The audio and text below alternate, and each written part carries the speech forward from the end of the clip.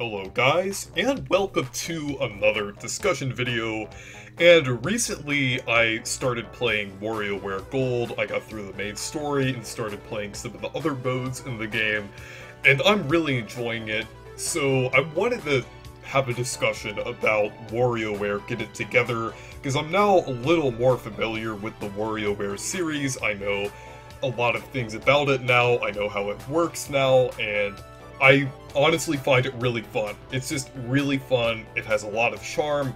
I really like the characters, and specifically with WarioWare Gold, I like the cutscenes and the voice acting in it, which I really hope they bring back and get it together. I think they probably will because of the trailer. It was fully voiced by Charles Martinet with Wario. But um, basically, WarioWare Get It Together seems to be basically innovating the formula of the WarioWare series, kind of like how the first few games, I think the first four games did with like the original on the Game Boy Advance, and then Twisted, also on the Game Boy Advance, it had um, the Twist mini games, then WarioWare Touched, had the um, touchscreen and everything on the DS, and then Smooth Moves, used the Wii Remote on the Wii. So I know DIY is technically like a main series game, but that was kind of more of like a different thing that they did, like one where you could make your own micro games and everything, and then Game and Wario was not really a WarioWare game. It didn't even have WarioWare in the title. I heard it's still pretty good though, but it like it's basically completely different and has like different mini games and stuff like that with the Wii U. So it's not really a WarioWare game. And then WarioWare Gold is technically a return to the older WarioWare games, but that still is uh, like an Ultimate WarioWare game, like a best of. It's still really good, and I would say that like it's probably better than the older entries, but it's still not having like a brand new innovation to it. It doesn't have like a something completely new to it, even though it did really well and it was a really good game. But WarioWare Get It Together seems to be a return to that actual innovation in the WarioWare series, how each one had kind of a different play style. Like with this one, you actually get to control the characters, and the, the characters kind of um, do different things in the micro games. Like different, all of the different characters have different abilities, and you can play with multiplayer, do different things like that. And I really feel like the micro games are going to be interesting since there's actually a lot of potential for this thing because all of the different characters have like different moves like they were showing like how um on the treehouse they showed that um young cricket moved quickly so it was kind of hard to control during the boss fight.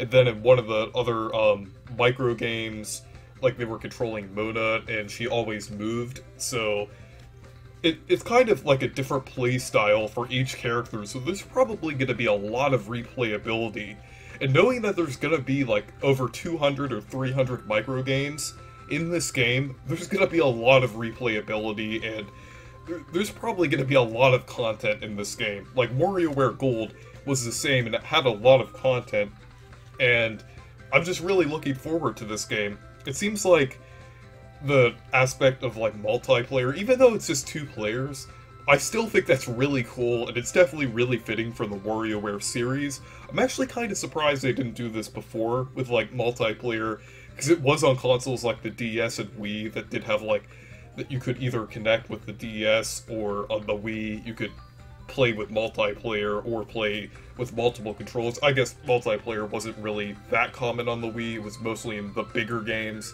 But, um, yeah, WarioWare Get It Together seems to be doing something really good for the WarioWare series, and I really hope they bring back those. I know that they showed in the treehouse that they have cutscenes, kind of like how they did in WarioWare Gold, but I really hope they bring back the voice acting, and especially the voice actors in WarioWare Gold specifically, because that was really good. I really enjoyed it, and even though it's like the animation isn't like completely fluid and everything, it's still really it has a lot of charm to it, and it looks really good. And I really enjoyed it. I, I basically was enjoying it throughout the whole story in WarioWare Gold, and yeah, I'm really glad that they're they seem to be doing something like different with this game. They're not just bringing like another. They're not like doing a port of WarioWare Gold or just doing something very different, like Game and Wario, not even to a point where you have micro games anymore, but they're still having the core WarioWare formula that they had in the 2000s of the uh, Game Boy Advance, DS, and Wii, and now they're actually doing something new with it again, which is really cool.